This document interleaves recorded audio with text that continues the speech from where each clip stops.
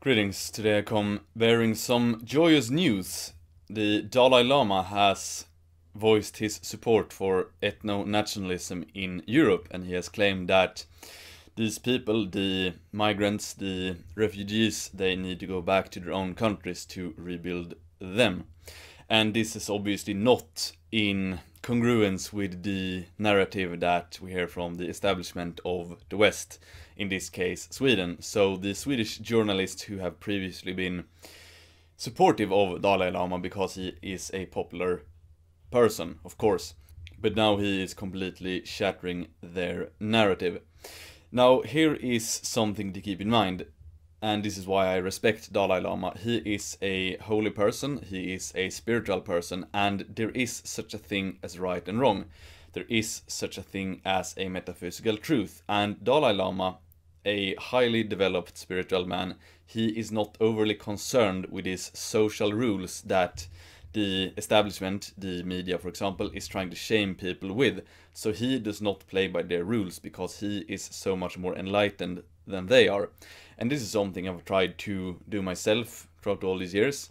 To speak the truth even if my voice shakes. And this is something I encourage you to do as well. If everyone started to speak the truth, no matter social consequences, I think we would be in a much better position. One of the instruments of censorship is the social censorship, the politically correct social censorship, which stipulates that you will become ostracized if you harbor certain views.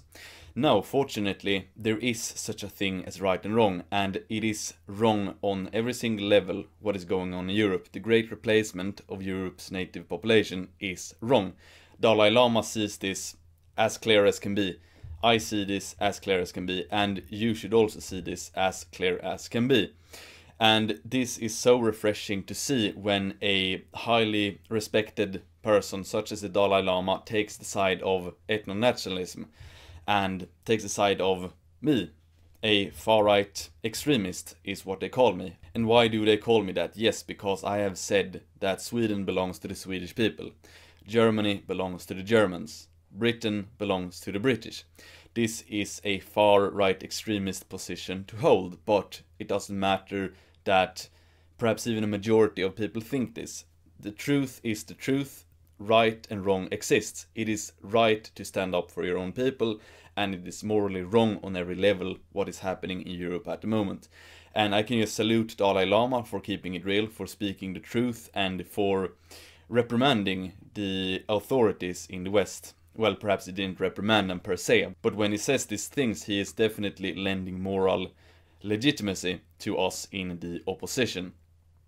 So, some good news that I wanted to share with you all, and follow the example of Dalai Lama here and speak the truth, no matter if your voice shakes. XOXO, boom.